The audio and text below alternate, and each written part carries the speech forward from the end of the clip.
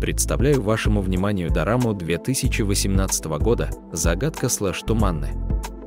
Хочу сказать, что эта дорама была абсолютным совершенством почти до самого конца. Темный, зрелый, тревожный. Эта дорама заставляла меня нервничать в каждом эпизоде и отчаянно ждать новых глав каждую неделю.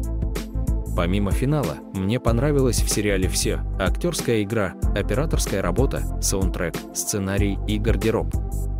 Все способствовало созданию удивительной истории, не похожей ни на что, что я когда-либо видел. В этой дораме Ким Нам Джу поразила меня. Она была невероятной.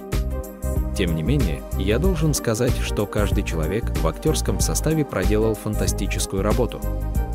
В этой драме были персонажи, которые были настолько многослойными и сложными, что могли рассказать историю, основываясь исключительно на своих глазах и мимике.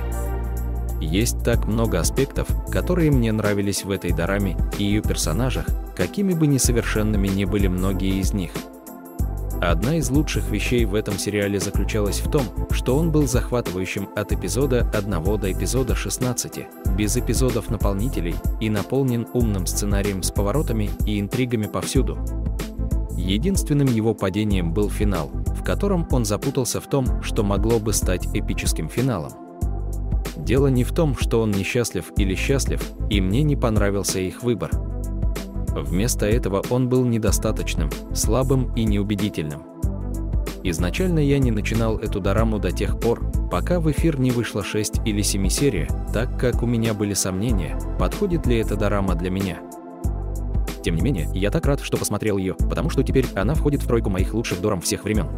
Не позвольте жанру или актерам отпугать вас, или концовки. Эту дораму определенно стоит посмотреть. Настоятельно рекомендую.